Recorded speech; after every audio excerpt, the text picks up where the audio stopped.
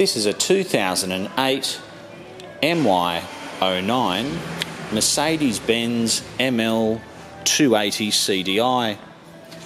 It's done just 86,000 kilometres since it was brand new and it's black with black interior. It's totally standard except for the roof racks.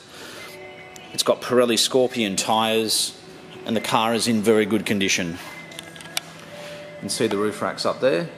Does have the key to remove the roof racks as well. It's got two remote keys to the car and it drives beautifully. The 280 CDI is actually the same engine as the 320 CDI. It's basically got a little bit less power.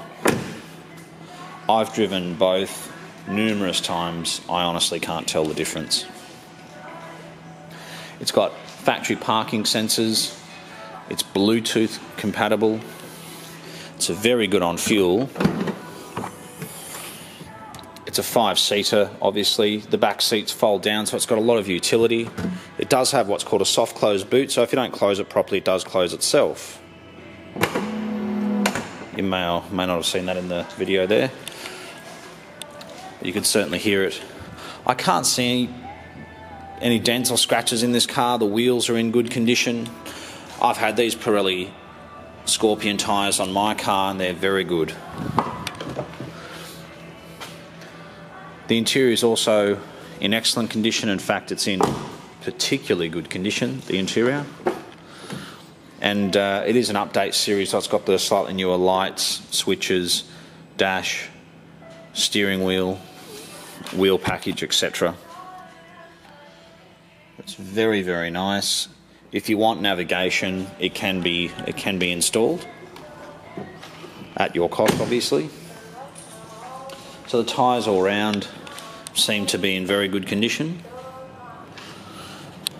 You can tell that it's the update MY09 because the headlight drops down as it goes to the centre grille there. So the parking sensors front and rear are factory. It's got fog lights, roof racks.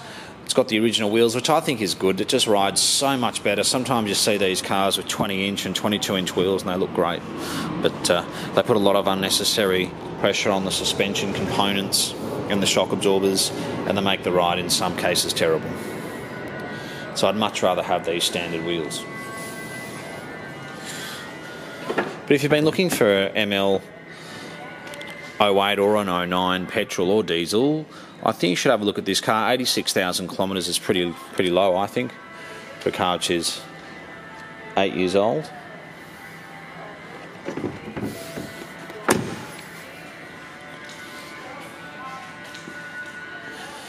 And uh, I do think they represent incredible value when you consider it wasn't long ago that a car just like this one would have been $45,000. Well, thank you so much for taking the time to watch our video. If you have any questions, please contact us. Uh, the number's on our website. You can ask for Philip, I'll look after you. Uh, we're located 20 minutes from Sydney Airport in Marrickville, and all our cars are kept undercover.